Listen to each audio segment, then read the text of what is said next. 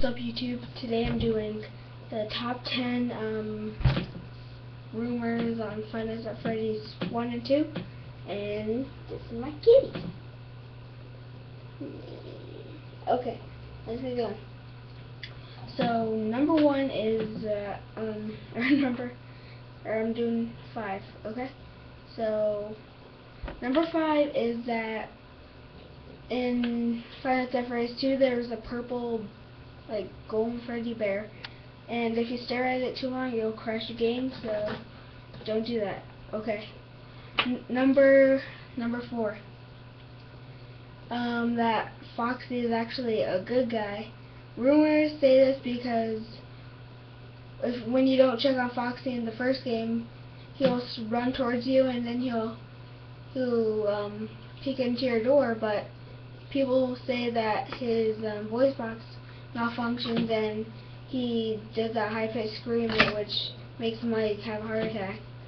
Okay, now at number three we have that um in Final Fantasy 2 Bonnie is actually trying to get or the mask you wear is actually Bonnie's face because Bonnie doesn't have a face.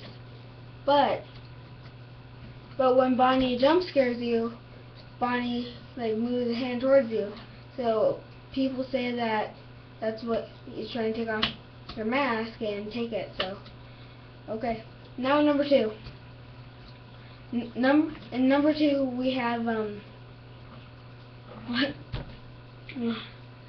that uh, that Freddy or that the killer um used the Golden Freddy suit to kill the children and the marionette actually put the souls in there. So, yeah.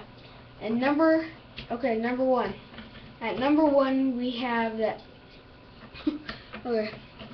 At number one, we have the or rumor or theory, whatever you call it, that in the mini game, um, the crying children who gets killed by purple guy is actually the marionette.